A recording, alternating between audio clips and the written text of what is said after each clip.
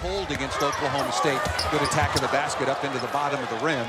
Errant uh, outlet pass, but Turner tracks that down hard to the rim, lays it up and in. Scoring affair, both teams playing some packed-in zone defense. Good cut along the baseline, and Ross with his first basket. And Williams and Texas Tech, boy, they want to get quickly into the front court, try to beat this zone. Back down the floor, and Norense Odiase with the basket. Location. Five to shoot.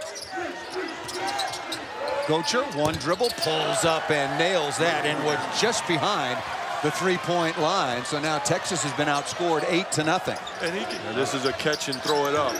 Got to fire it. Gotcher on the way. Looks go. Oh, he threw it in. A catch and throw it up in the right guy. Again, I want to repeat it. Gotcher shoots 40%. He ends up in the right position, whether it be on the offensive or defensive end. Long three-pointer buried once again. Quick threes right out of the blocks by Robert Turner for Texas Tech.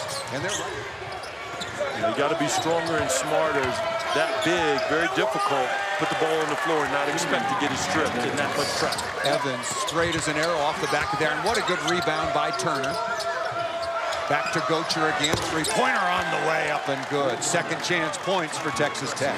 Game day final coming up. Once again, the final score. Texas wins at 56-41.